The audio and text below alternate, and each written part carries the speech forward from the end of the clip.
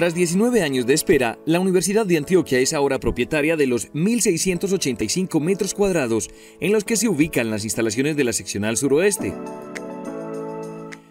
El terreno, que fue cedido en calidad de comodato por la gobernación de Antioquia en el año de 1999, tiene, desde este 2 de octubre, la matrícula de propiedad número 004-12372 a nombre de la alma mater de los antioqueños, lo que hace factible la inversión con recursos de la institución en infraestructura y otros elementos.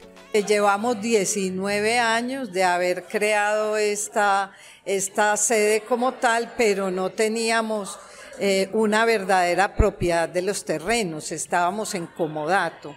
Y tener los terrenos en comodato eh, nos impide realizar muchas inversiones en infraestructura.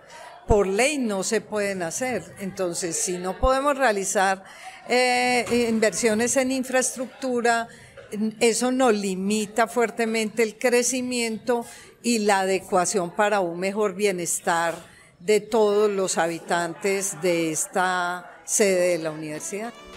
Pero, ¿por qué la tardanza? En parte, por ausencia de una gestión acertada, donde resultó clave el apoyo de la actual administración municipal de Andes. Y por otro lado, por problemas de definición de propietarios, algo muy común en lo que respecta a líos jurídicos por tenencia de predios, que para este caso datan de años atrás, cuando estas tierras, que hoy son públicas, eran de particulares.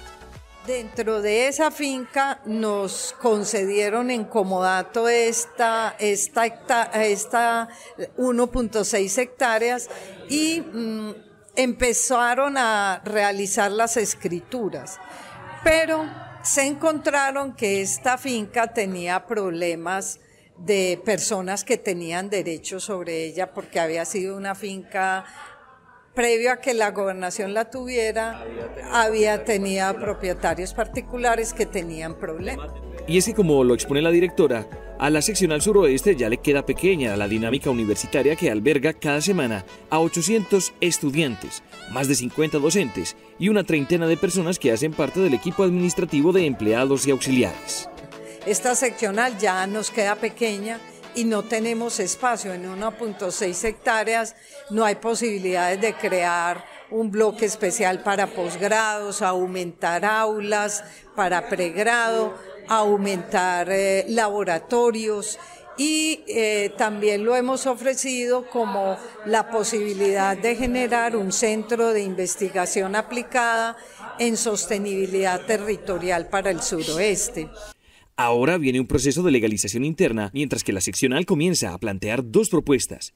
Una para la construcción de una placa deportiva cubierta que sirva a su vez de auditorio o escenario multipropósito, y otra que le permite acrecentar el actual predio de 1.6 a 10 hectáreas para futuras expansiones, labor que ya fue expuesta a la gobernación de Antioquia y que en palabras del primer mandatario de los antioqueños, Luis Pérez Gutiérrez, puede ser un hecho si se plantea una propuesta argumentada.